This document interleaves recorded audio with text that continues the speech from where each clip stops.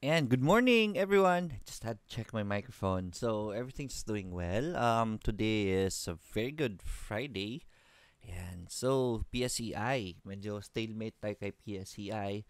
Uh, still no volume, ganun pa rin, 5 billion value uh, traded. Um, 5.96 to be exact.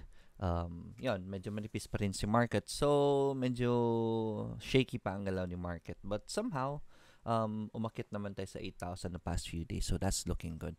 Right? So, um, ayun. Um, let's talk about that in a bit. Uh, medyo inaantok pa kasi the international market and the wake of my grandma. So, medyo late kami natulog. But anyways, tuloy pa rin ang daily grind kahit puyatan. And good morning, Ranulfo Ferzas. Good morning to my daughter, Laika. Also, Mang Buntag, Ranulfo Makian. Good morning, Jing. Martinez, good morning Coach Leonel Kasing Web. Sir Lloyd, a very good bounce web kahapon. Very good volumes. I hope this is the reversal. I don't want you to chase after it. That's basically a missed opportunity. Congratulations sa mga nag-risk dun sa baba. So yeah, we talked about web before, 'di ba? Kasi may nakita tayong divergence. Um, the bounce would um, the bounce is looking well. Just didn't want to recommend it here. Kasi 'di ba? Um, nakita niyo po ito. Um, we talked about this bounce right here. This is a divergence bounce. Uh, we talked about it the past few days. Yan dito. So, pababa ang presyo but RSI is already going up. So, this would have been a good part time to test it. Right. So, congratulations sa mga nag-test noon dito with the support.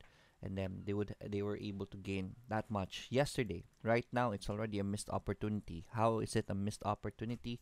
Um, here it is. Um, it is uh, from the support itself, it's already negative 9%.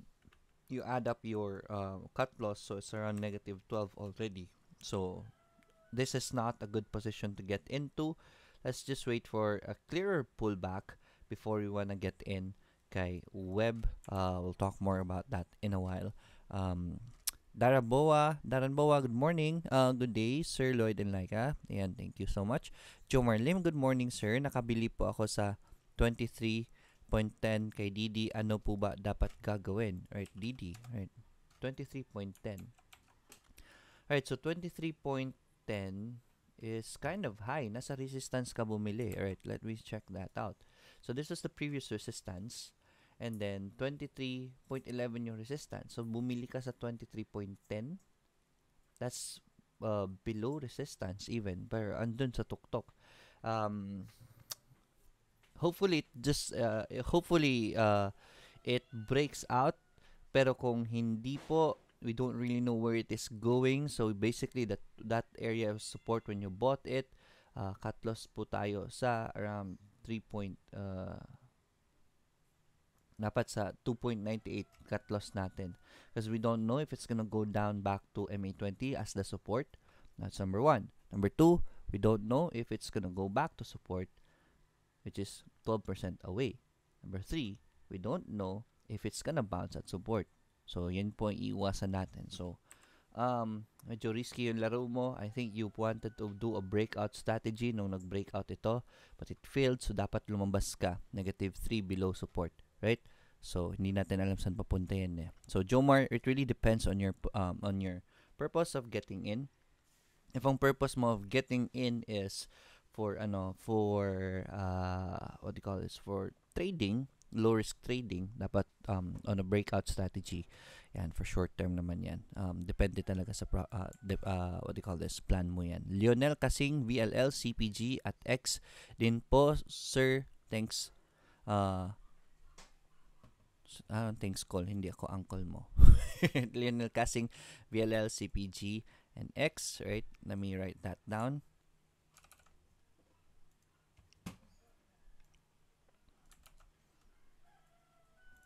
Alright, so Carl Nico Santos. Good morning, Coach Lloyd. Insights po kay uh, with CHP, T, and Web si CHP. Um, nag-break na ng MA20 CHP eh. So, price action wise, not really not really good to get into anymore. Right. Uh, Honey Kabigting, good morning, Coach and Laika. Now, now please, uh, now is in my recommendations for today. So, very good to very good find honey. We'll talk about now later madadaanan natin yan. JV, El Pidang, good morning uh, Sir Lloyd and to everyone. Have a great day ahead. Happy trading. Happy trading too. Um, oops, bumagsak yung comments. Um, my tube 836, good morning. Lost ako ng 12% kay OR. Okay lang ba i-keep ko? Okay lang to, to wait? Uh, kaya lang worth waiting ba? Okay ba ito for medium term? Yes, I think OR is good for medium term. So far, so good naman ang mga developments na OR. Um, hindi na sila mining lang. They are transitioning also um, into, what you call this, um, nag-transition na rin sila to uh, energy, right? Si OR, so magandang developments kay OR. Hindi na sila purely mining. Kasi kung purely mining lang sila, medyo shaky kasi ang mining eh. But with their, their diversification, we're just waiting for the numbers of OR. Definitely, um, maganda yung lalabas ng mga numbers ni OR um, according to our uh, people we know. Um, just keep buying on the dips ako kay OR. I'm still holding on to my OR. Overall, it's still a very cheap price with the developments that it had. So, definitely, look at the third quarter numbers ni OR. Definitely very big.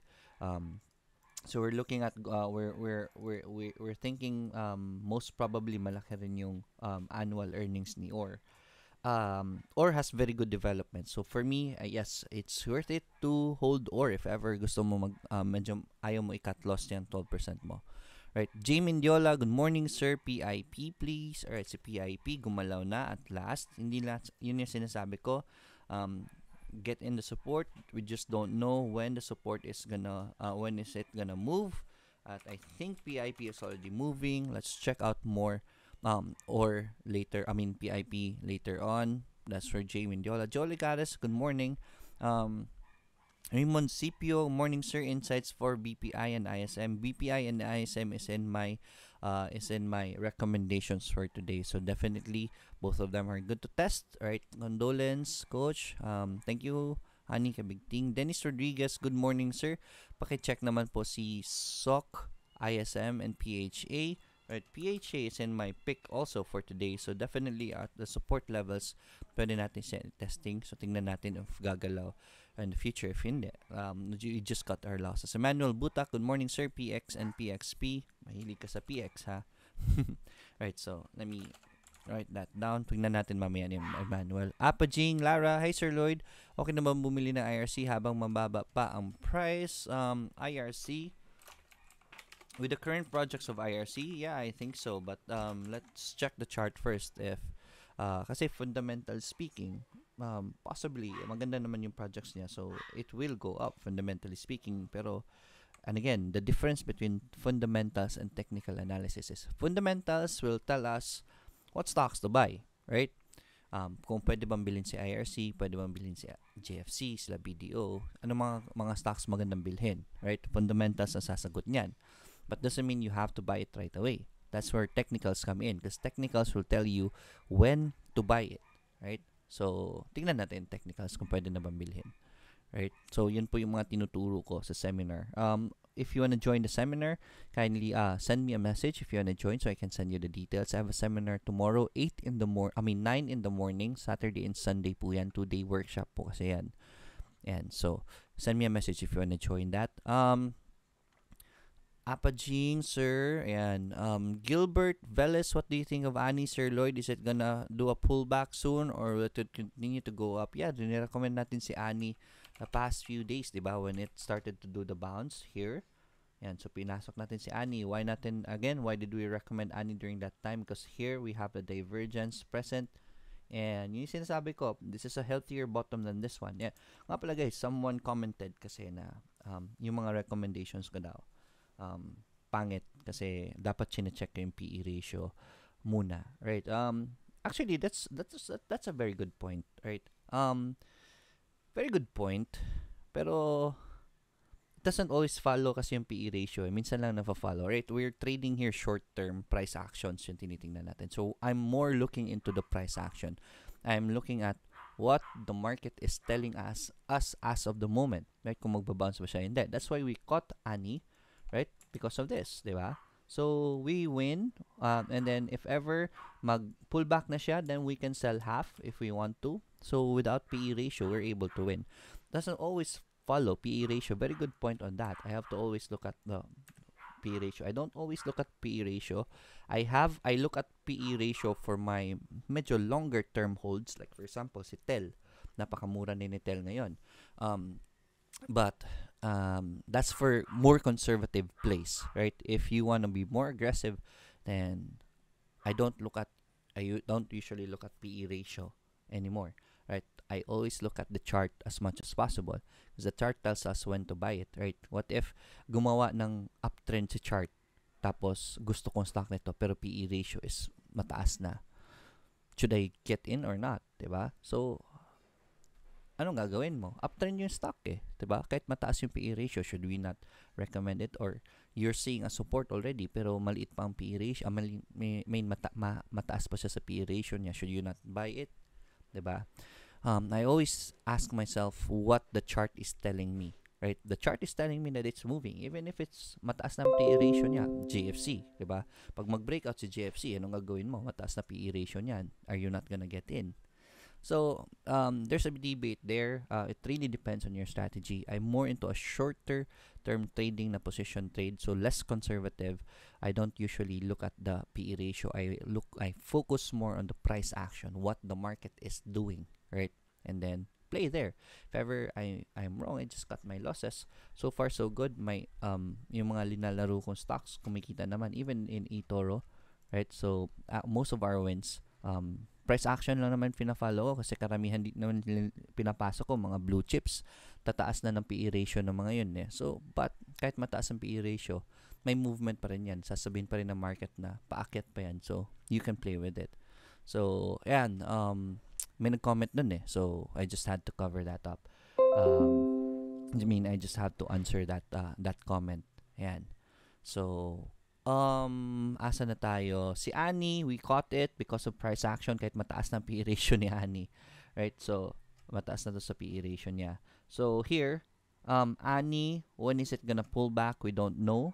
Yun yung problema sa naghahantay ng pullback. Hindi natin alam kailan siya magpo-pullback. That's why I always, what I usually do, sinasabi ko sa inyo, you test out the support doing test buys. Or test buy lang, maliit lang na amount. Para at least, kung hindi man siya mag-pullback, nakasakay ka pa rin, hindi ka maiinggit.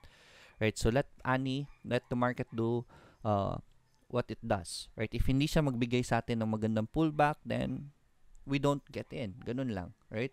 So, ganun lang ginagawa ko. This time, sinuwerte tayo. It showed us a, a buy signal. That's why we bought, or why, that's why we recommended it here. Right? Same with Tel. Right? Um, Tel gave us a buy signal here and then we have an RSI that's going up. So this is a much healthier bottom. We were able to ride it sa pag-akit niya. Ngayon nagpo-pull back siya which is good. We're just waiting for a, a very healthy pullback and then before we want to get in, uh, maybe at MA20 we, we we can buy more if we want to. Well, let's see what will happen in the future. We don't really know yet. Right? So that's for that question. Um That's from Gilbert Veles. Burnstone TV Gaming. Good morning, sir. Sell na ba si SMC? Right, let's check out SMC in a bit. SMC. Right. Trabajador. Good morning, Sir Lloyd. IRC and PHA po. Thanks so much. You're welcome. Right, so PHA is in my picks for today. IRC, titingnan natin yan. Um, wala, hindi ko pala nasulat sa IRC. Right, tingnan natin si IRC. Gilbert Balana, good morning Sir Lloyd. Pwede pa checks ng LSC. Right, so Lepanto Shipping. Huwag po kayo maglalaro dyan sa mga pinaglalaruan ng mga stocks. Those movements are subs- unsubstantiated. So, kaya mataas na, huwag niyo pong hahabulin, okay? Taka lang ha. Ingay ng mga aso ko eh.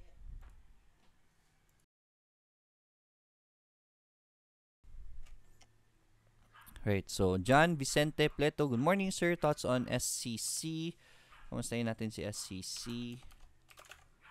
Right, Gehien Peñaloga, good morning sir Gio, CPG. Oy, congratulations nga pala sa mga Geo holders. Alright, so Geo.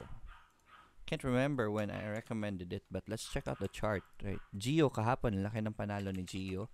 Kala nga ng mga tao magsisiling siya. Right, so we recommended Geo at this point right here um, nung, nung bounce niya right so we were able to win that much yeah, sa mga pumasok uh, we recommended it because we saw this divergence um, pababa yung presyo niya pero RSI was already going up so that was a very good support right there ganda ng movement that's why we recommended it here and umakyat na si Gio. So, congratulations sa mga pumasok kay Gio.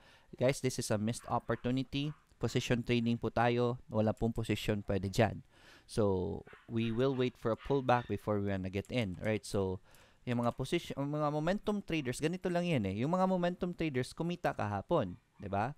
Kasi marunong sila mag-momentum. Pero hindi sila kumita. Uh, sa mga position traders naman, yung mga position, position traders na nakahuli kay Gio, dito sila pumasok. So, kumita din sila. So, you can earn in momentum trading. You can also earn in position trading. It's just that this is already out of position. That's not our game anymore. Right? So, dito tayo nakahuli dyan sa position niya. So, kanya-kanyang wins lang naman yan eh. Iba-iba naman tayo ng strategy, 'di ba? So, wag niyo pong hahabulin 'yan. There's there's no position here. It's not good for position traders, right? Baka maipit lang kayo diyan. Um, let's continue. Geo CPG MB, right? So si Geo, wait for the pullback lang guys ha, but congratulations sa mga pumasok kay Geo. Uh, si CPG yesterday yung best entry point niya. We don't really know where it's it is going today. So, let's check it out in a bit. Joe Marlim, you're welcome. Jovi Tanael, good morning Sir Lloyd. Holcim House, CLI, Meg, si Meg magbe-breakout na naman eh. Pero, medyo mataas na sa akin para sa akin si Meg eh. So, I don't really want to recommend it. Uh, mas malaki ang chances po na manalo kayo pag doon kayo sa baba naglalaro, hindi doon sa taas. Coach, good morning, good day. Dami ng reco today, 12 times. Yeah, ang ganda ng mga positions today eh. Uh, I have 1, 2, 3, 4, 5, 6, 7, 8, 9, 10, 11, 12. Yes, 12 ngayon. But these are very good positions as of the moment. Ba- bumawi naman kahapon. Di ba kahapon dalawa lang ang recommendations. Kasi wala, wala tayong mahanap na buy signals yesterday. But yesterday, I mean today, daming mga bounces and confirmations ng support. I'll show you later bakit. So it's up to you who you wanna pick. Siguro, I'll also pick my top 3 on the picks, right? um, top 5 lang siguro pa, para makita nyo. Kasi baka meron kasing iba sa inyo na nag-aabang sa stock na yan and this is the buying point already. So, you can check it out. Um, ito yung recommendations ko for today if you want to check it out. Um, that's Vita, Bcor, ISM, PHA, WIN, CEI, MER, FNI, ECP, NOW, Primex, and BPI. Price action-wise, ang daming binibigay sa atin. So, let's check it out in a bit. Right. So, Kathy, Kat, um, sir, good morning. Paano kalaki fan nyo nung nag-start kayo mag full-time trader po and ano po suggestion ninyo na gusto maging full-time trader po? Right. Uh, it doesn't matter how much I started. Right. Ganito lang yan. Only risk an amount you are you can afford to lose. Right? You can afford to lose. Yan lang. So, tatanungin ko po kayo. What are you, uh, anong, para saan itong pera na ginagamit ninyo? If sasabihin nyo sa akin, basta pa kasi para sa retirement ko ito, nako, wag nyo po ilalaro sa stocks yan. Right? Pag bumagsak yan, maubos ang retirement mo, tatrabaho ka hanggang matanda ka na. Right? If you say that um, savings ko po ito, um, kasi gusto kong patubuin, um, the purpose of the saving is baka bumili ako ng bahay, baka hindi ka magkabahay niyan. Right? Only risk an amount you can afford to lose. Iba-iba kasi tayo ng threshold eh. Right? Iba-iba tayong threshold. Right now, I'm I'm I'm trading in um, international market. So, sa international market, kakasimula ka pa lang, nagsimula ako, nagpo-full-time trade na ako sa eToro, di ba? Um, pero I only have 100,000 in it. Because right now, I am not, I'm still not that confident in the international market. So, I cannot afford to lose much kasi I don't, I'm not confident in the, in, in the, in the skill yet. Right? Hopefully soon, aakit na aakit yan. I slowly, uh, gradually increase my, my money right? So it really depends from person to person. If you, what if I tell you meron ako, um, nag-start ako ng uh, 1 million, kaya niyo po ba i-risk ang 1 million on your end? So iba-iba talaga tayo. Doesn't matter how much you start with, right? It is, uh, what matters is your skill. If you're confident with your skill, then you can risk a higher amount, right?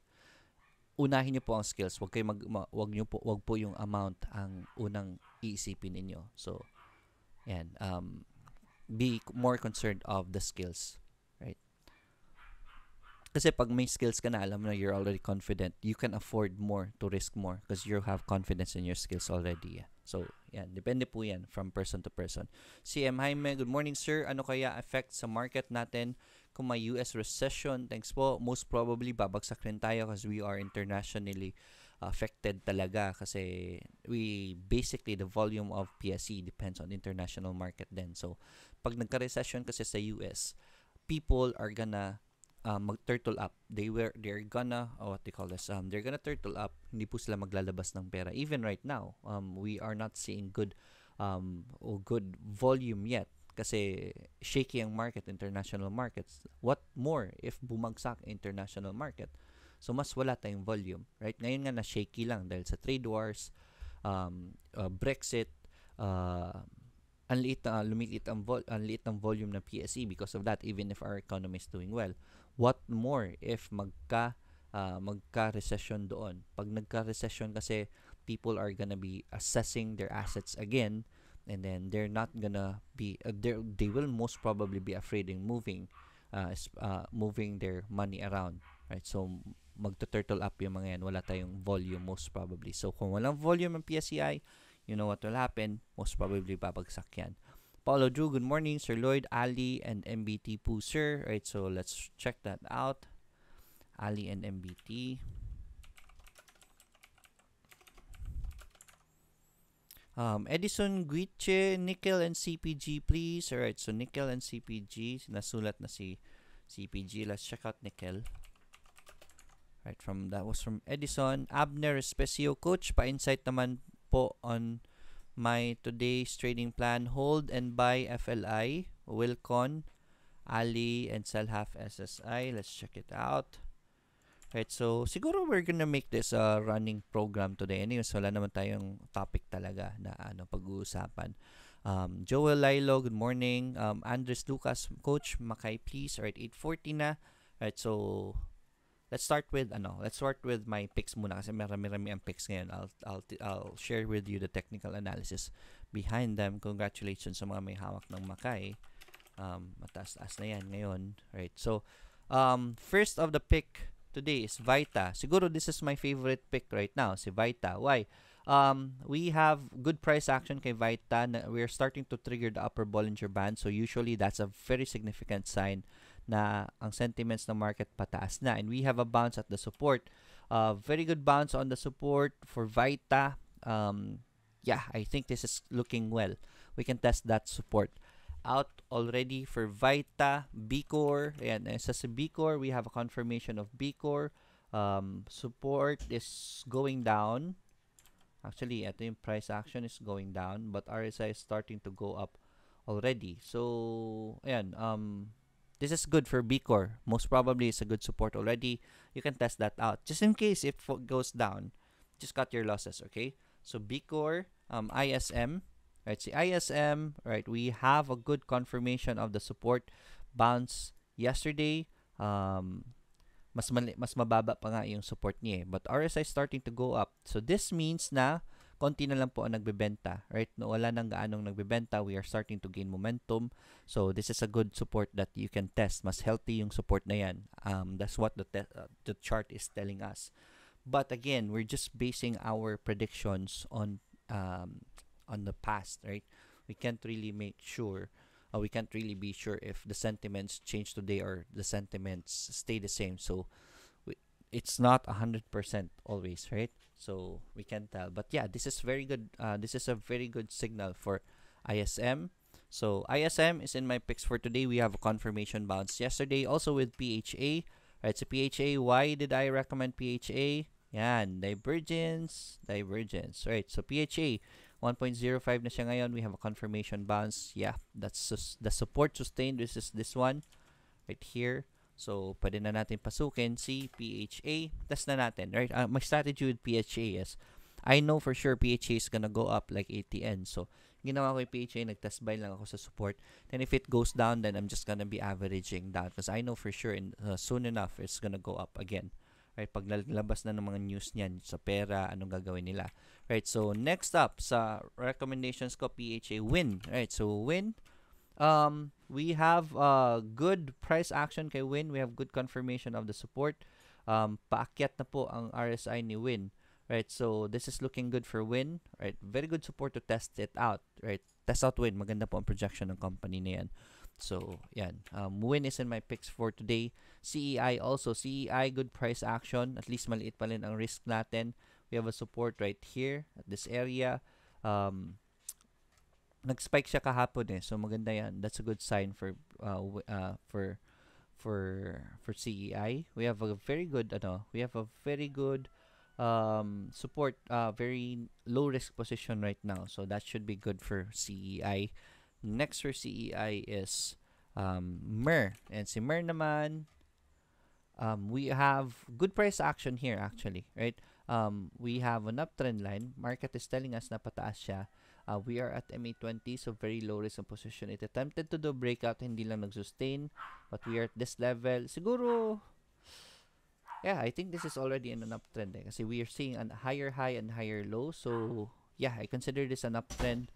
Um, the, the resistance was broken. I think it's gonna break again right? So, this is already an uptrend for me. We have a higher high and higher low.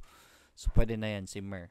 Right? You can check it out. Use the MA20 lang for your support, just in case we're wrong. Right? One of the low risk positions right now I can find is FNI.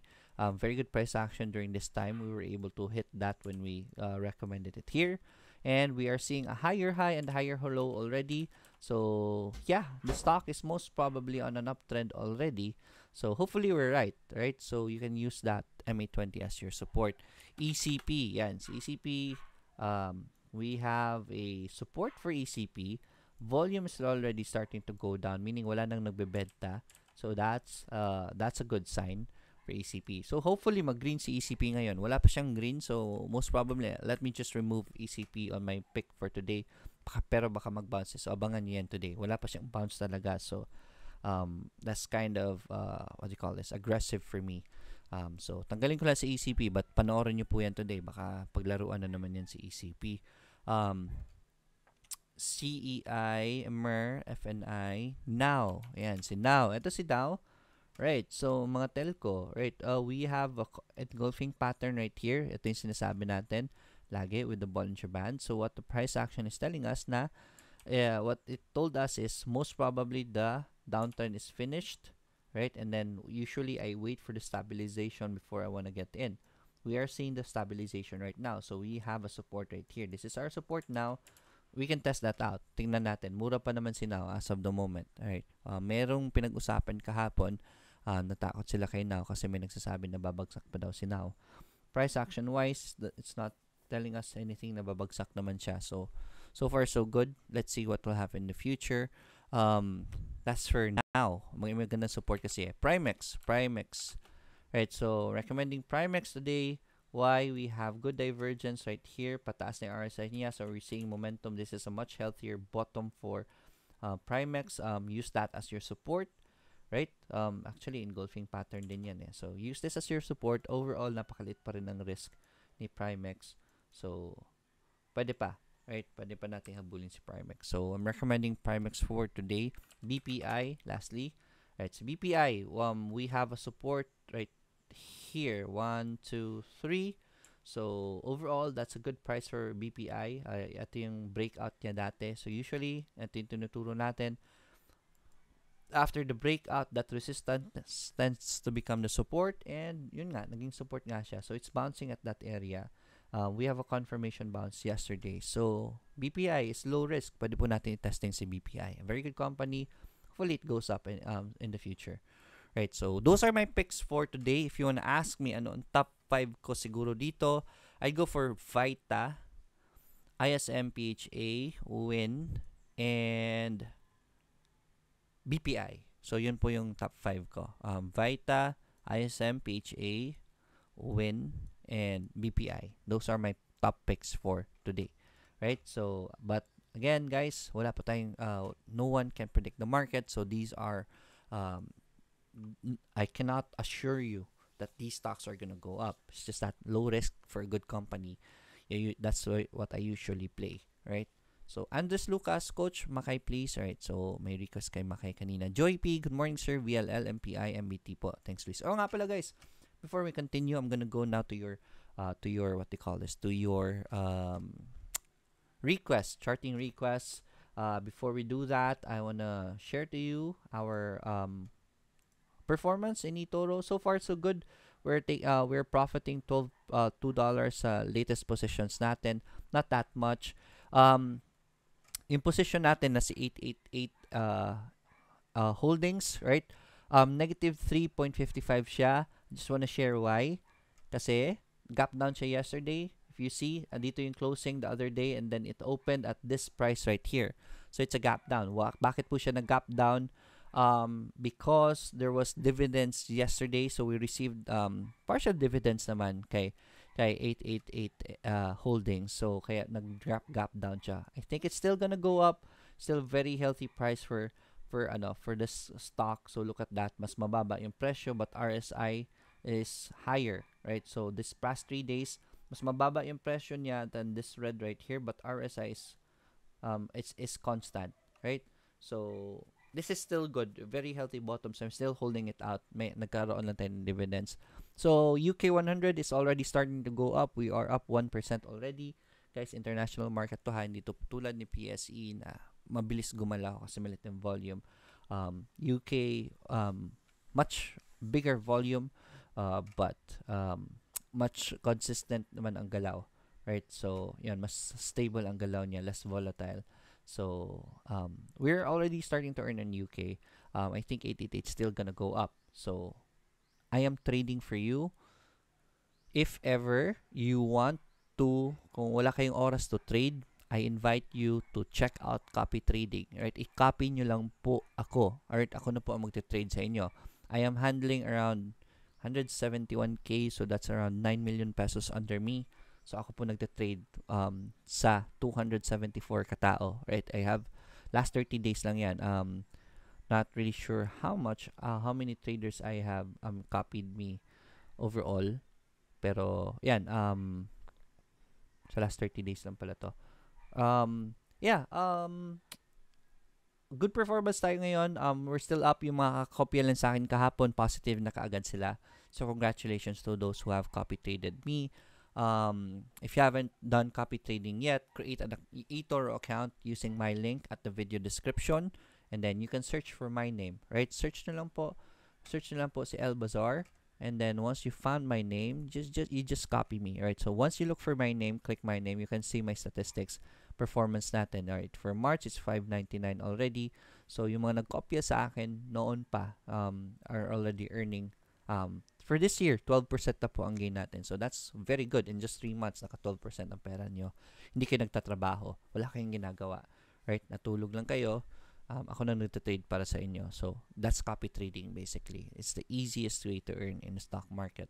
Just look for people you you try you trust to trade. So just click here on copy people nasa lower left side ng market and then top investors, meron dito mga trending, meron ditong most copied. Right? So Chocowin has 2,921 copiers. Yan. So, um, taking pride in this, isa po tayo sa mga andyan sa most uh, most copied. Right? Uh, andyan tayo sa, ayan. So, ako po ang blue. Ayan, I have 272 copiers. Blue meaning hindi pa ako binabayaran ni eToro to be copied. These guys are receiving 1,000 a month. 1,000 USD. So, ako lang ang blue. Happy. So, at least merong Pilipino dyan sa ano natin. So, yan. So, you can look for these people. Maganda pa performance nila. 42, 47% the last 6 months. Um, 4% the last 6 months. 6.20% the last 6 months. Right. So, you can check these these guys out. Right. So, that's a good thing about copy trading. Um, everything is transparent. Makikita niyo po statistics at makikita niyo yung portfolio nila. If gusto niyo ang galaw ng portfolio nila at mga pinapasukan nila, then you can copy that person. Okay? So, copy trading, ako na po magte-trade para sa inyo. Just create an account using my link. Yun lang po ang hiling ko. If ever gumawa kayo ng account na hindi gamit ang link ko, let me know para malipat natin, malipat sa pangalan ko. Sayang naman yung referral na binibigay ni eToro. Right, that can help the channel a lot. Right, um, ayun, si Lyft pala, guys, si Lyft mag, uh, ano, mag uh, IPO na 20 billion ang, that's a very good company, right? So, I invite you to invest in Lyft, right? Um, I'm gonna be looking at the price action and lift of Lyft the next few days. Let's see if makaposition tayo kasi medyo aggressive pa ngayon. So, hindi ko muna papasukin but definitely pwede nating paglaruan yan sa Lyft because I think it's still gonna be very good. Right? Aakyat at aakyat yan because that's a good company. Alright, um, and isa sa sponsors natin to Trade Asia. Check out to Trade Asia at totradeasia.com. If if you're looking for a good broker na uh, what you call this um, reliable mabilis and definitely ang ganda ng support right? Um, once you contact them in their FB page ang bilis mag-reply kung kailangan niyo ng tulong. Check out 2tradeasia 2tradeasia.com um, ngayon um, let's go to your requests. Kasi medyo marami-rami ito. Kanina si IRC, may nag-request kay IRC kanina. Um, before I go to IRC, let me see if meron tayong mga comments na um, na hindi na ano, um, hindi pa nababasa. Edgardo, Carl, oops, bubagsak bigla ang comments. Um, Hops, uh, sino nga ba yung last? Hindi ko na maalala eh. Alright, so I think that was Edison. No, Emmanuel. Yan, si Emmanuel for uh, and so, highlight ko lang kung sino ang last. So, let's see if you have any comments. Sir Lloyd, I need to upload Uptrust verification sa eToro. Can you give us an example document that is valid for this requirement? Um, meron ba kayong billing statement um, or siguro sa bank ninyo, um, banking statement ninyo, um, credit card na bill, um, for sure naka-address yan sa current address ninyo so you can use that.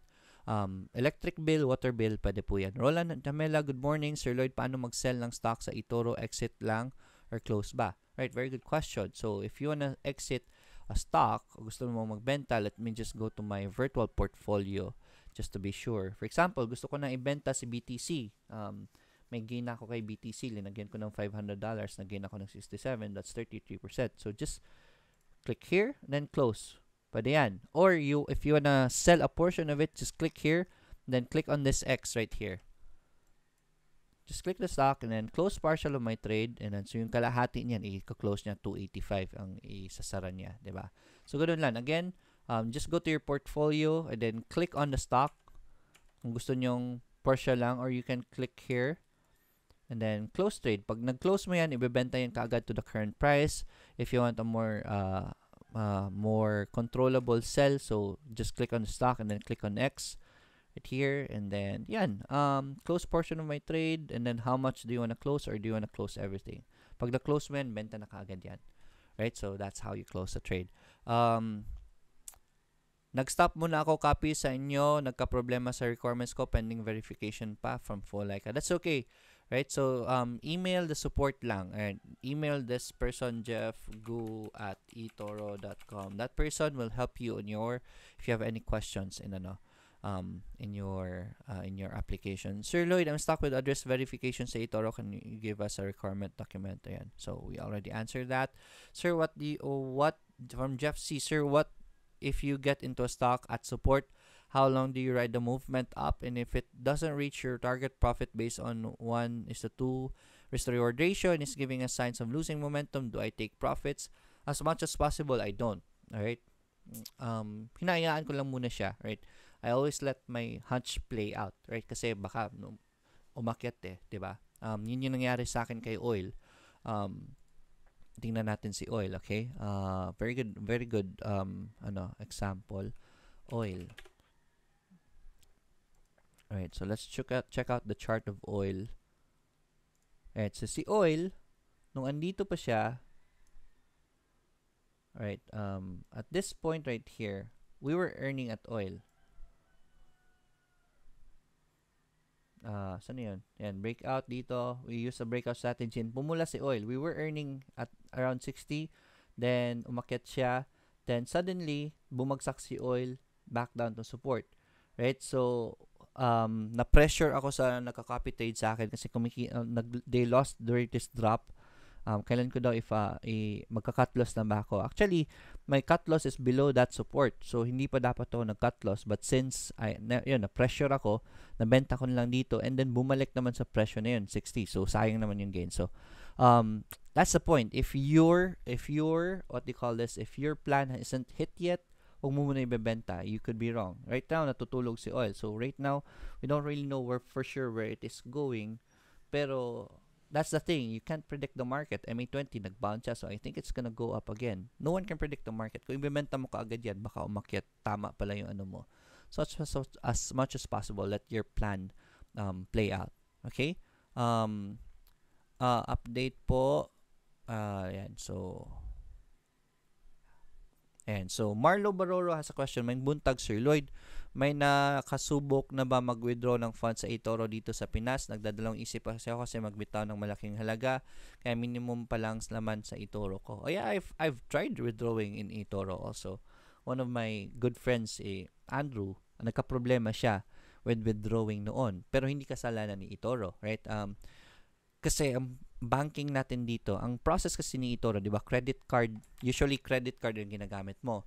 Pag nag-take profits ka, for example, nag-gain ka, for, you put in 1,000 pesos, uh, $1,000, then nag-profits ka, nag-profit ka ng $500. If you want to withdraw the $500, ibabalik nila sa credit card mo yan. So, they return it as a refund kasi transaction yan, di ba? They return it as a refund kasi yun yung pinakamabilis. For eToro, they've done their part. Actually, na-process na nila Um, nagka-problema lang it's because dito sa Pilipinas kasi ang refunds take a while, right? And then ang pinagawa sa pinagawa namin kay Andrew is we had him contact the bank, right? So si bank kasi ang may problema. Matagal mag-process ng uh, ng refund si BDO. So ayun, um, um eToro did its part. Si bank lang ang medyo matagal. So baka you confuse those with eToro having issues, right? Sa bangko na ang problema na 'yon. Kasi ang problema dito sa Pilipinas, pag refund, isang billing cycle. Have you tried to uh, ask for a refund from for, of a transaction? Di ba? Ang tagal. Ang tagal sa Pilipinas, grabe. So, it takes usually a month before lumabas yung mga uh, yung mga refunds. Right? So, that's the issue right there. But binabalik po ni ito ang pera. Right? Wala pong problema dyan. Um, Good morning, Sir Lloyd. Morning sa mga do uh, sa mga dogs mo. Yan. So, let's continue. Good morning, sir. Ano ibig sabihin ng leverage sa eToro from Juna Sanchez? Very good question. Um, leverage means um, pwede kang pautangin ni eToro. For example, kay oil kasi. Kay oil, uh, example, commodities, 1,000 USD po. For example, let's say, um, let's go to my real portfolio. Go to real portfolio and then let's try to trade oil. Okay, oil trade. Yan. So, si oil kasi, look at this, uh, leverage, lagay natin sa X1, look at this. Deposit $38 or increase leverage in order to open this trade with a minimum deposit of $1,000. So, si oil and commodities, 1,000 po ang minimum niya. But right now, I don't have $1,000. Diba? Wala akong 1,000 eh, diba? So, kasi ang per current meron ako is, let me go to my portfolio. I only have 962 uh, dollars available. So if I open oil, kulang ang pera ko. So what it does is pauutangin ka ni um, ni what they call this ni ni eToro ng pera. For example, I I want to put in $100 $100 So para ma-meet ko yung exposure na $1,000, eToro will let me borrow times 10 leverage. So ita times 10 niya ang pera ko. Right? Pero ang problema nito, uh, so, ita times 10 niya ang pera ko so then I can meet the $1,000. So, pwede na ako mag-trade ni oil with $1,000, uh, $100 level uh, $100 right with just leverage 10 pesos. So ang downside nito that's the beauty of it. If you are very sure of your technical analysis if you're very sure of your skill then you can use leverage right? Ang gandaan kasi ng leverage parang 1,000 na linagay mo. So if you earn 5% then times 5 rin ang uh, times 10 rin ang $5 mo uh, I mean 5% mo. So malaki po siya, 'di ba? So parang ng 1,000 ang exposure mo. But ang problema nito is ang losses mo is times 10 din. So what if you lose 1% of 10 $100 um I mean 10% of $100, 10% is $10, 'di ba? Ita times 10 'yan. So at negative 10% ubos ang 100 mo, lalabas ka agad ubos ang $100 mo. So yun yung delikado rin naman kay um kay leveraging, right? Soon, right? PSE is planning to um a futures kasi ang tawag dito eh. Um soon um PSE is planning to make this available pero I think matagal-tagal pa yan. Hindi pa nga na apply yung short selling eh. Tsaka yung um, yan, yung futures na yan, yung short selling. Hindi pa nila na-apply. So, hopefully, mangyari din ito kay, uh, kay, kay ano, kay IS, ah, kay PSE. Kaso nga lang kay PSE, pag merong ganito, sus, ang mga gamblers, grabe. Uh, yung mga problema kay PSE kasi nadja-jockey pa rin, na-affected pa rin na insider trading. Eh. So, very hard for, I don't, uh, I don't want that to happen in PSE. It's gonna be very unhealthy. yung market ni PSE if that happens. Anyways, let's go to the picks. Um, I hope I've, I, I was able to answer your question. Um, Ed, uh, no, that was not from Ed- Edgardo. I forgot sino, um, sino, uh, Jerome, um, sold Geo 18% yesterday. Congratulations. Um, yan, so, um, I hope that was helpful for those who don't know leveraging also. Very helpful for you guys if ever sure na sure kayo sa laro, right? If you think it's a very good support, very good company, um, pwede nyo po i-leverage magta times, even up to times 20 ang pera ninyo. So, you can do that also. Right, so, um, VLL, CPG. So, let's go to your picks. IRC, um, yan, yung sinasabi natin, nag-trigger sa lower Bollinger Band. So, we, most probably, we know where it is going. So, bumagsak ng bumagsak pa we don't have any support that we can test out for IRC. So, medyo mahirap pa for us to look onto IRC kasi yung problema ni IRC, yung growth niya. Um, okay naman yung growth niya. Uh, hindi naman to speculative or anything. It's just that market sentiments, pababa market sentiments, so we just have to act accordingly. Um, don't want you to go aggressive right now. It's very very volatile and its uh, volatility is go um downward. So, most probably, babagsak pa yan. Hindi natin alam. So, you don't, please don't be aggressive in that. VLL. Right, may request kanina kay VLL. So far, so good. Support is holding. If you want to get in VLL, get in near this support as much as you can. Right, for VLL. Um, CPG. Uh, CPG, I can't recommend CPG yet. Uh, we don't know for sure where this is going. Right, kasi medyo mataas na sa CPG. Right, but we have a good MA20 bounce. This is the best area to test it out. Umakit na si CPG. Right now, don't want to recommend it. Mataas-taas na risk. So, pabayaan nyo na po muna yan. Right, let it play out and then let's see if in the future, bibigyan tayo ng buy signal, um, buy position. Kung wala, then let it go. Right, for X naman, hmm, X, X, X, X. Um, very good bounce for X. Uh, I can't recommend it as of the moment. Let's see if we'll, if we'll if it will give us a good uh, good price action. I don't want to recommend X actually. Right?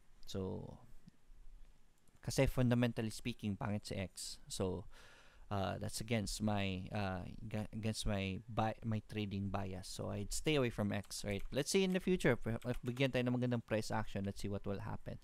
CHP, um, it broke ME20 already, pero nag-bounce but I don't think this is a good climb anymore for CHP.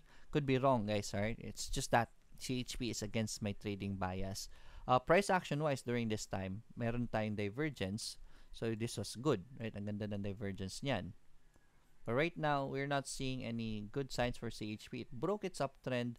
Um, siguro ng bounce, but once MA20 is broken, I that's volatility striking again. Uh, so I don't want to, uh, it's unpredictable at that point. So I don't want to recommend it yet. Mahirap po yan. Especially for stock na nasa taas na and fundamentally not good. So I don't want to recommend CHP. T. And si T, nagpo-pullback. So yung mga naipit, pasensya na. Wala tayong magagawa dyan. Let's see if mag-bounce si T right before you wanna get in T. Right now, wala pong, wala pong movement naman. So, iwas-iwas lang muna. Web naman, si Web, wait, wait for it to do a pullback and higher low. Diyan po, tas, diyan tayo papasok dyan. So, wag muna as of the moment for Web. Um, pero definitely, very good volume for Web. So, let's see what will happen in the future. Baka ginaki na naman yan. Eh. PIP. Ayan, si PIP did a breakout yesterday but did not sustain. So, this is good for PIP. At least gumalaw na siya. Good volume hopefully magtuloy-tuloy. If ever pumasok kay PIP sa support, we've been recommending that here. Congratulations. Uh, if gusto niyo humabol kay PIP, ano na po, breakout na lang if ever gusto niyo talagang humabol kay PIP. Right now, wag po muna, nasa resistance siya. We don't really know for sure that where that is going. SOC. May question about SOC. So, wait for it to bounce lang. Right? Most probably, uptrend na yan. So, right now, wala pa. So, stay away muna. ISM, PHA, we talked about that. PX. Right, so PX, um, time check, it's 908. So, and So, MWs here, advisable mo enter. Low na kayo ang price. Let's check it out, sir. Pag bumaba na stock sa eToro, pwede ba i-short yung without exiting para hindi ma-charge? Um, pag, pag bumababa ng stock sa eToro, pwede ba i-short yun without exiting para hindi ma-charge? Actually, ma-charge yan. oh, may overnight fees kasi short selling. Short selling, you're basically borrowing stocks from eToro, di ba? Pag short selling. So, pag, if whenever you're borrowing something, may overnight fees siya. Pwede mo i-short sell within that day. Ibenta mo kaagad, wala pong charges yon Pero pag pinalagpas mo na isang araw, yeah, um, may charges yon So, um, careful lang. Careful lang with that. Um, only do that if ever napakataas na ng stock. Sir, ask ko po if I use PayPal to fund my eToro account. Kung mag-withdraw po ba sa PayPal rin ipabalik or pwede i-direct sa bank account? Yeah, um, PayPal rin nila ipabalik. Kung saan mo unang uh, uh, dineposit, doon nila lalagay yan. So, most probably PayPal mapupunta yan, Lawrence. Right. Right, so let's continue. Si PX, right, PX, uh, right now, stay away lang muna. Wala tayong ano, wala tayong support na ma ma, mababasehan para sa pag-akyat niya. So, stay away lang muna kay PX. PXP, there's a question about PXP. Ayun, may bounce siya. So nga lang, uh, we can't really tell if this is a good uh, avenue for PXP. Um, very volatile as of the moment. I don't want to recommend PXP yet. I usually enter at non-volatile positions. Um, right now, very volatile pa si PXP. We can't really see if bounce na yan or hindi pa. There's no engulfing pattern. There's no nothing. Uh, walang support. So, we can't really say. Ron Ron, sir, nakapag-deposit ako once sa eToro gamit ang credit card. Gusto ko mag-add sana kaso nag-failed na siya. Napunta ako ng bank. Sabi naka-block na daw ang website ng eToro from Korea. That's weird. I don't know if it's blocked from Korea.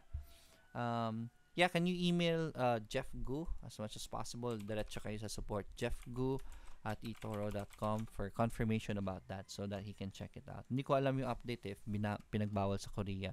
Baka wala na silang license sa Korea. Right? So, yan. Um, kasi other countries are very strict with trading licenses. US, Canada, yan, and Japan. Right? Dito sa Pilipinas, okay naman si eToro. So, no problem here in the Philippines. Um, Ayan, um, PXP, stay away lang muna. Still very volatile as of the moment. IRC, we talked about that. SMC, SMC naman, uh, I can't recommend SMC as of the moment. So, wag muna, iwas lang muna kay SMC. Right? Um, but definitely, there's good spike in the volumes in SMC. So, can't tell as of the moment medyo mataas na si SMC mas gusto ko mag major pullback si SMC before pasukin like this one right here but definitely a very good company to get into. All right, SMC, LSP. No, LS is this LSP or LSC? LSC siguro to. LS.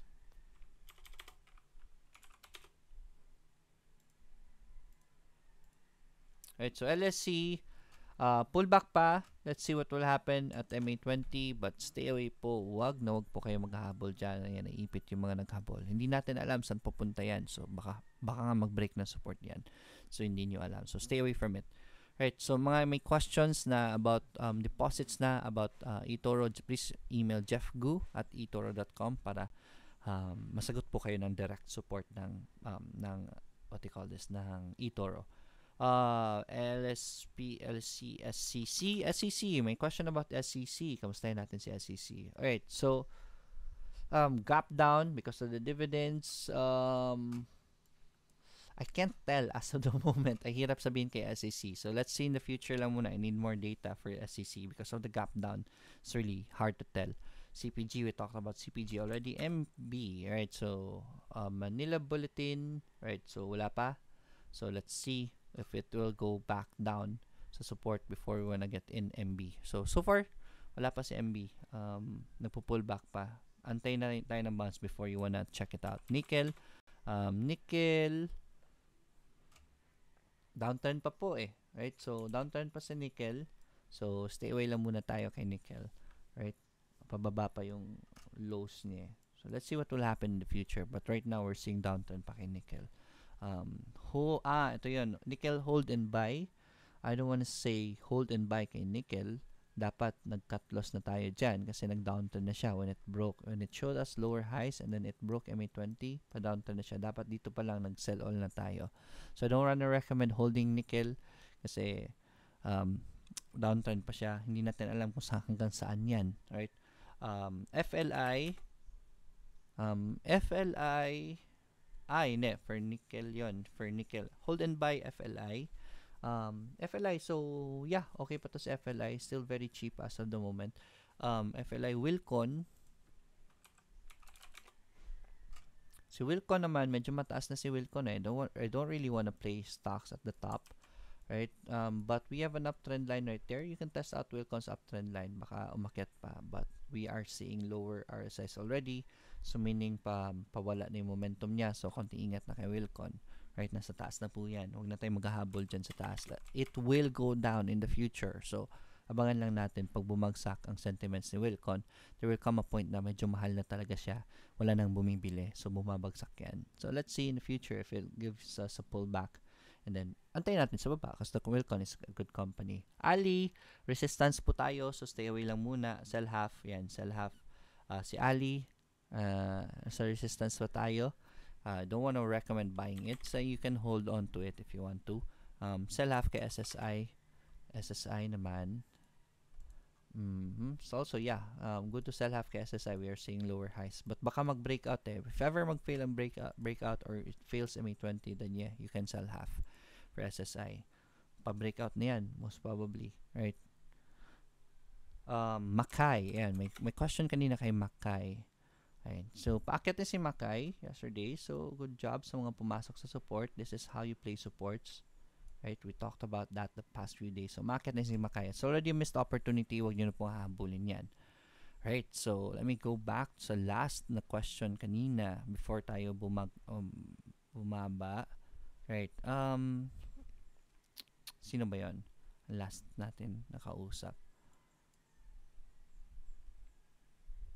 Yan, si Andres Lucas. Coach Makay, please. Right, Joel Lilo, good morning. Um, Joy P, good morning. VLL, MPI, and MBT. Right, so I think we've already covered them. Si MPI, I think hindi pa. Kamusta natin si MPI? Right, si MPI, nagbabounce naman. Overall, si MPI is still very cheap. I still want to recommend MPI for long term. Tagal nga lang gumalaw ngayon. Don't know what's wrong with MPI, but we have, we're seeing good volume spikes right here. So that's accumulation of people. Still very cheap, so pwede pa tayong magbodega kay MPI. Definitely for long term, this is a good avenue to buy more stocks habang mura pa siya si MPI. MBT, we covered that already. Edison Guiche, medyo masakit yung lalamunan ko. Time check, it's 9.16. Again, guys, um, if you want to join my seminar, I have a seminar tomorrow, Saturday and Sunday. If you want to learn how to trade, and po, matuturuan ko po kayo ng mas systemic na way how to trade, just send me a message. Napakamura lang po ng seminar. Just send me a message so I can send you the details. Um, eToro, create an eToro account using my link um, so that pwede na kayo mag-copy trade. Especially for those who don't really know how to trade or walang oras mag-trade, copy, try copy trading. Ayan, ibang tao na po mag-trade para sa inyo. That's passive income, right? So, ayan, high risk, high reward na passive income. So, that's very good for you, right? So, MPI, MBT, and Edison Guiche, Sir Nickel and CPG, please, 10% loss na ako kay Nickel. Eh, downturn pa po si uh, Nickel, Edison. Hindi natin alam saan papunta yan. So, uh, always cut your losses po. Emmanuel Butak, hey Sir Lloyd, pahabol po ng PIP. We talked about that already. So, Folaika, good morning Sir Lloyd. JGS po. Alright, kumusta natin nga si JGS? JGS. Yun, nagsa-sideways na pala si JGS. After the engulfing pattern, we have a sideways movement right here. Uy, very good find. Right? Let's see if JGS will uh, confirm a support. Pwede natin i-testing to. Right? Definitely showing us good signs already si JGS. Yeah, kasi nga lang medyo mataas si JGS. Yeah, but then again, price action is telling us it's doing sideways. Get in near support as much as you can if you want to test out JGS. Right? Um, Edgardo, Galang, Fen naman. Uy, si Fen. Gumalaw na to eh. Right? Um, we talked about Fen during the support. I recommended it here. Um, yun, mataas na si Fen. Stay away from it na. Right? Mataas na po yan. Let's just wait for another pullback before we wanna get in Fen. Stay away na muna kay Fenma. Right? Um, Carl Nico Santos, Lloyd, pahabol naman po ng Picor. Kamusta na si Picor? Pababa pa si Picor eh. So, um, downtrend pa, most probably si Picor. So, stay away from it. That's the reason why I usually don't, I haven't been recommending Picor lately. Kasi medyo mabigat pa si Picor. Right, so stay away from it for now. Hops, sir, my condolences po. Thank you. Sir, IRC po, your inputs please for long-term and short-term traders. Short-term traders, too aggressive for now. Iwas lang muna kay IRC. Um, long-term traders naman, yeah, definitely the projects of IRC are looking well. So, um, it's good for longer term, right? Um, leverage from Juna Sanchez, uh, we answered that already. Um, yun, si Randominator, XXX, ABA ang sa kanya. Yan, si ABA, uh, kind of volatile right now. Don't re- I can't really recommend ABA yet. Though we have an engulfing pattern here, so this might be good. Let's see. Um, gusto ko ng confirmation, maybe a higher low or further confirmation down sa support kay ABA. Kind of volatile pa siya for me as of the moment. So, I want to stay away for, from ABA muna. I could be wrong. Baka lumipad na yan. So, if you're an aggressive player, yes, this is a good confirmation for ABA. Usually, uh, medyo mataas na si ABA eh. So, I really want I really want a confirmation muna before I want to get in ABA. Right, Edgardo, good morning sir. Good morning din sa mga dogs mo, Fen. We talked about that already. Apulio Jole, Jole. And good morning sir, ECP po sir. Please, ipit ako. ECP, I am recommending ECP for today. But hindi po siya recommended for ipit. Right, for traders, nire-recommend ko si ECP today. Uh, if it bounces today, that, was, that will be a good entry point kasi maliit ang risk. Just cut loss if ever uh, your cut loss plan is hit. Right? I cannot recommend ECP for long term po. Pag ipit kayo, hey, mahirap. I can't really tell anong gagawin nyo. But I have a video about anong gagawin nyo pag ipit kayo sa isang stock. Please search for it. Um, just go to YouTube, right? Uh, YouTube.com and then search for uh, averaging down, average down, then Lloyd Bazaar. Right, so I didn't cut loss. How to average down without adding money in stocks. That is gonna be helping you on your stocks na ipit kayo. What to do, right? Pero mag-average down na kayo or hold on to a stock if that stock is doing well. Pero kung pangit naman, let go of it already. Why? Because you don't know if it's when it's gonna recover. Naalala niyo si si si ano si CHP. Hindi niyo alam kailan magre-recover yan. So wag kayo magpaka-martyr sa stocks na um, is not doing well. Right. Telson Talabot, good morning Sir Lloyd. Pa-check po ng Tech and EW. Si EW, nilagay ko to dito kasi list ko kanina. EW is good. Right. Bakit nawala si EW sa list ko? Yan, kasi yeah, I had to shorten my list. So, EW is showing us good price action right here. Pwede natin i-testing yan si EW. Right? So, very good for EW. Um, pwede mo i-test na support niya. You can buy the support if you want to kay EW. Um, tech. So, tech still doing well as a company. Price action wise, siguro uh, breakout will be a good confirmation. You can use a breakout as your support for tech, right? Doing well lately naman si tech. So, yeah, definitely good to test. Right. Um, Zenaida, Karunungan. Sir, insights nyo po kay PHA. Nag-buy po kasi kahapon. Oh, so far, so good si PHA. I'm recommending it today even. Jerome, congratulations sa uh, this is what this guy is one of my students, Jerome Gamboa. Sold my Geo at 18% yesterday. Amazing. So, congratulations. CHIB para my probable gain for today. Let's check out CHIB. Right, it's 9.22. I'm gonna do this the best I can. Uy, may support to CHIB. Probable gain. This is very good bottom pick. Ano? Very good bottom pick, Jerome. Right? Divergence right here. Yeah, CHIB. Pag nag-green yan today, definitely check it out. Right? So, I, yeah, if I can recommend it. Hindi ko muna i-recommend, wala tayong confirmation. It's too aggressive for me. But Jerome, definitely, tingnan nyo po ito today, si CHIB. Pag nag-green yan, pwede nyo pasukin yan. Right? CHIB, check it out. Um, Edison Guiche, Nickel, Marlo, uh, yan, we already answered that. Um, morning coach, BDO, ngayon, mag-test buy kay BDO ngayon from Wealth Gainer. BDO, ayan, wag muna kay BDO. Antayin yung breakout. Uh, if you wanna test buy BDO for trading, breakout will be good. This is an ascending triangle pattern.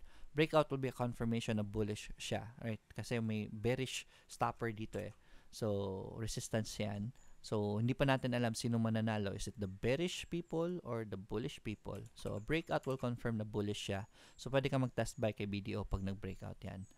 Um, PXP po, oversold na. Yes, PXP is showing us good uh, uh, oversold levels. Pero, um, yeah, pwede nyo. Actually, yeah, very good point. Um, oversold levels sa PXP, umabot ng 20. Eh.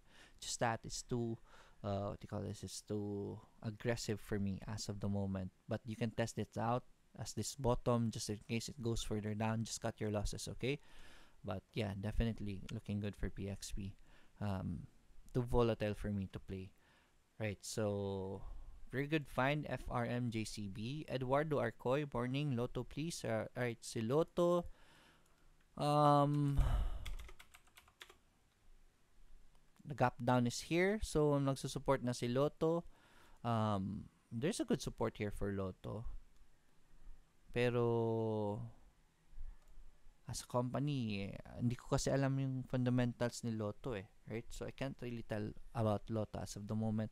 Uh, very volatile position, so I don't want to recommend it yet. I wanna, I want Lotto to stabilize firm for the meantime before I wanna recommend it. Burnstone Gaming, pa, pa-add na rin po si DMC. We still have time.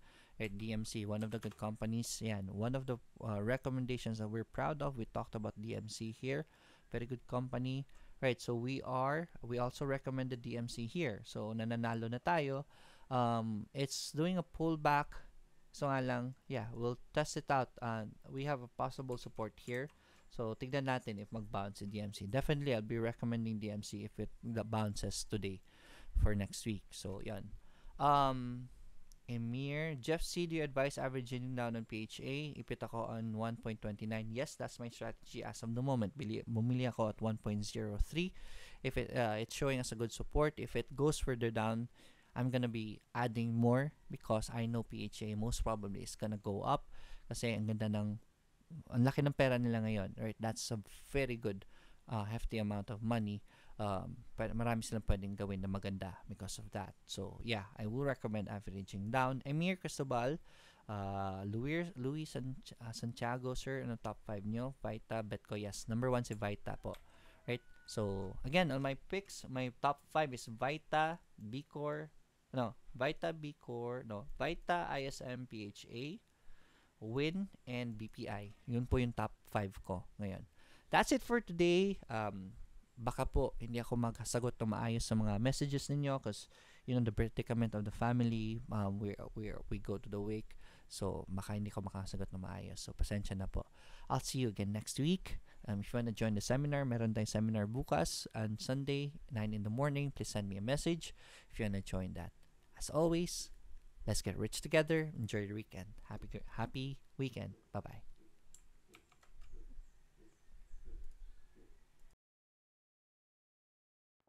Oh.